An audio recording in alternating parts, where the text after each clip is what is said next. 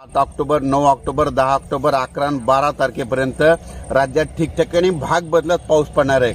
म्हणून सर्व शेतकऱ्यांनी हा अंदाज लक्षात घ्यायचा. आणि तसेच हा पाऊस तसेच सर्व म्हणजे भागामध्ये पडणार आहे. कुठं रिमझिम पडणार आहे कुठं मुसळधार पडणार आहे कुठं कुठं वडी नाले वाचेल असा पडणार आहे. म्हणून हा सर्व शेतकऱ्यांनी अंदाज लक्षात घ्यायचा. हे करत असताना राज्याची एकंदरीत परिस्थिती बघितली तर राज्यामध्ये बारा तारखेपर्यंत पाऊस पडणार आहे. तेराच्या नंतर तो पाऊस कमी होणार आहे.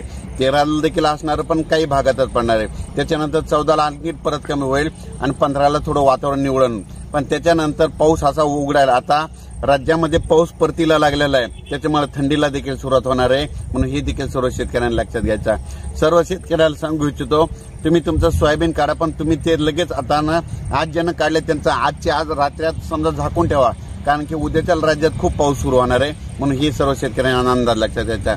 अचानक जर वातावरणामध्ये बदल झाला तर लगेच एक मेसेज दिला जाईल. आणि माझ्या शेतकऱ्याचं मात्र नुकसान होऊ देणार नाही. हे देखील या मेसेजमध्ये सांगतो.